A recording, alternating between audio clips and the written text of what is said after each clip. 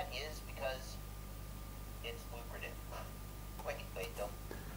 G'day. Um, I'm just watching Joshua Bardwell's latest video, and he's telling you that he's going to start using affiliate links. Now, I can understand why he is going to do that. And actually, I'll put a link to his video in the description of this one because it's very important that uh, you take a look at that video and see the pressure that reviewers are under to supplement the revenues they get from existing sources such as YouTube's advertising and Patreon. Because, as Joshua goes on to say in this video, uh, average video you put up, get a good video, might get 10,000 views, might get 20,000 views. We're looking, you know, roughly you know, 10 to 30 dollars depending on the video. It's not a lot of money. When you consider how long it takes to produce some of these videos i mean some videos because you, know, you have problems you might have to redo it. Um, i think some of my videos have taken some of them taken three or four days for a 10 minute video. And if you need 10 dollars for that you can see obviously there's not a lot the hourly rate is pretty abysmal fortunately i have patreon supporters who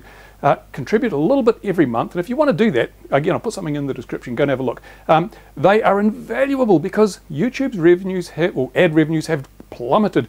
Um, when I started doing this full time, it was great. I could support myself and my family on the revenues that were generated. I wasn't going to get rich, but I could pay the bills. Now, without my Patreon support, I would be uh, deeply in debt every month. And so I can understand why Joshua and so many other re reviewers are going the affiliate way. Now, as Joshua points out, you know, 20, 20 bucks is a good video, but he put an affiliate link on one video and he got $250 from the affiliate link. So he's earning 10 times as much in some cases as he'd earn from the video itself. Now, if I earned 10 times as much as I currently earn, I'd be able to pay my bills, be great. I'm not going to complain about what I'm doing now. I mean, I, I don't have any money left over at the end of the month, but I'm a kind of person, I have this outlook. Um, if you've got $1 left at the end of the month, you're a rich man after you've paid your bills. And that's the way I look at it. I'm not into accumulating large amounts of wealth, not that I um, have the ability to do that, but um, I much prefer to provide stuff that helps people out, you know, helps you out, gives you the right information. Now, Joshua, straight up guy, tells you he's going to have affiliate links. Why he's doing it. I'm not criticizing Joshua at all. I can fully understand why he's doing that. And, you know, congratulations to him for doing that. Hopefully, because his channel's good. You know, he's good content. I like the stuff he does. It's, it's, informed. It's really good stuff. I would not criticize Joshua in any way, shape, or form, and I'm sure that his reviews will remain totally unbiased and independent. Uh, so, but what I'm telling you is I'm not going to do that. Um, but again, there is this pressure to actually pay the bills, pay the bills, and YouTube revenues tailing off. Patreon is good. It's it's it's pretty stable at the moment. It's, I've got a sort of fixed amount of Patreon coming in. I'd love more, but I'm not going to hassle you guys to to support me on Patreon. What I was thinking is, should I go the affiliate way, but not in the way that um, so many other people have gone, but in a slightly different way. Now, I don't want it to be seen that if I go and put affiliate links, people are, I'm going to be plugging a product because I'm going to make money out of it. 10 times more than I make out of the video. I would rather people could use an affiliate link on any product. Now, I know that the way certainly Banggood's affiliate system works, I think if you go through an affiliate link and then go on and buy something else, the affiliate gets a commission on everything you buy. I believe that's the way it works. So should I put just one link, the same link in every video? And if you, for example, want to buy something from Banggood, why not just come to my, one of my videos, click on that link, and then I'll get a few coin for what you buy, even if it's not the product that was on the thing. And I wouldn't put the product I was reviewing in the link. I might just have some generic product, a woman's handbag or something silly like that, so that you know it's not something I'm plugging, but if you want to donate a little coin that won't cost you anything because it comes out of Banggood's profits, then you could do it that way. Is this something that's worth considering? I don't know. I don't. I just don't want to go down the um, affiliate for product thing. I mean, it's interesting to note actually now that Banggood and the other suppliers have got so have got this army of reviewers out there. And they're not all like Joshua. A lot of them are, I got this free product from Banggood. I'm not going to tell you I got it for free, but it's fantastic. Here's the link in my description. Go and buy it so I get rich. Um, there's so much of that going on now. Why would Banggood or anyone else want to send me, a critical reviewer, a product who, when they, the, the risking, as was the case with the Wizard, um, that I might give it a bad review?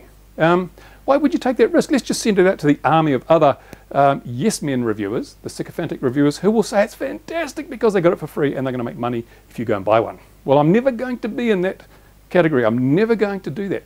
Now, Joshua said in his video that um, all product reviews are sponsored. Well, not all of mine are. Um, I have always disclosed when I get a product that I didn't pay for. And I do buy a lot of products that I review because, um, again, I don't want this channel to be sponsored. I don't want to be beholden to anyone. As you've seen, I, I don't, uh, giving me a product doesn't buy favor. Uh, you saw that with the Eachine Wizard. I mean, I got this free quadcopter, you know, I, I don't care. It was a piece of crap. And subsequently, they have um, replaced the arms. They're sending out new arms because, as I said, they're not carbon.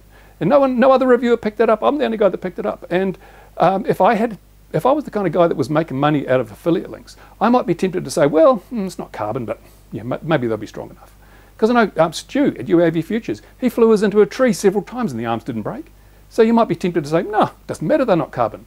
But as we all know, when it comes to quadcopters and crashing, sometimes the lightest little impact can break something. The next time you can slam into something at 100 miles an hour and it'll bounce. You know, it just depends on the way the forces are directed. So I would much rather point out that, hey, this has got a flaw, this is it, and it may affect you.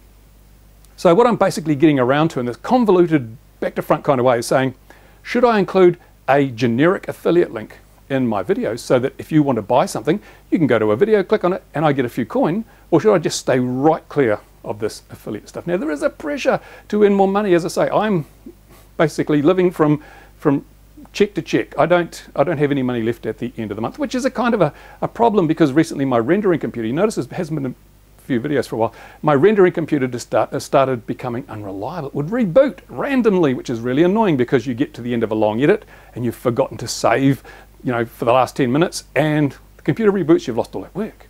Or it's done a two hour render, you get to the, the last 5% of the video render and the computer reboots and all that time is wasted. So I had to spend some time and some money to fix up their computer. It's going good now, so you get some more videos out of me.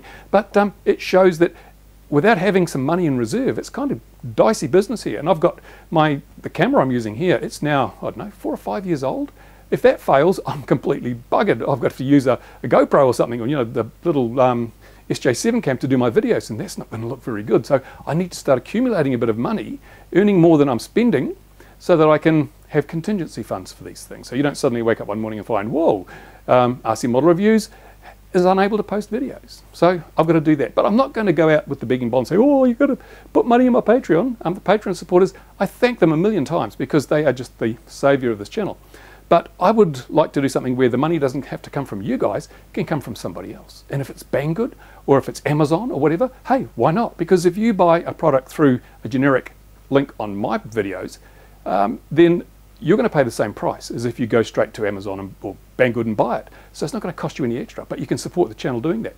There you go. So in the comments section of this video, please tell me what you think. Um, would it be okay with you guys if I put up a generic um, affiliate link that isn't tied to a product I'm reviewing? So uh, there's no way that me giving it a good or bad review is going to affect the amount of revenue I earn from that affiliate link. Is that a good idea? Because at the moment, I think I'm probably one of the only, maybe even the only reviewer, now that Joshua has signed up to the affiliate scheme, who doesn't use affiliate income to support the channel. And I'd like to keep that point of distinction, at least to the degree where I'm not going to be flogging the products that I'm reviewing.